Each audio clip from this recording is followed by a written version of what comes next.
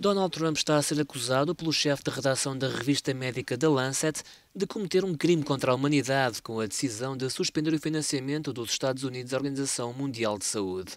O presidente norte-americano tomou a decisão devido à gestão da pandemia de Covid-19 por considerar que se a OMS tivesse enviado especialistas médicos para a China para avaliar objetivamente a situação no terreno e tivesse alertado para a alegada falta de transparência da China, o surto poderia ter sido travado na fonte com muito poucas mortes. A OMS poderia ter salvo milhares de vidas e evitado prejuízos económicos por todo o mundo, defendeu o chefe do governo responsável pela maior fatia de financiamento da OMS.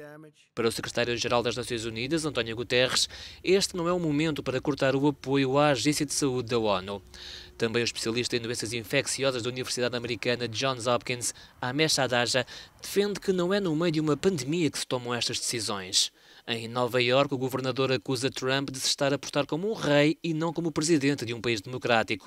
Andrew Cuomo não pretende acatar uma eventual ordem de Trump para relançar a economia durante a epidemia. Nova Iorque concentra atualmente o maior foco da pandemia, com mais de 200 mil casos de infecção e cerca de 15 mil mortes associadas à Covid-19, num total de quase 30 mil mortes em todos os Estados Unidos.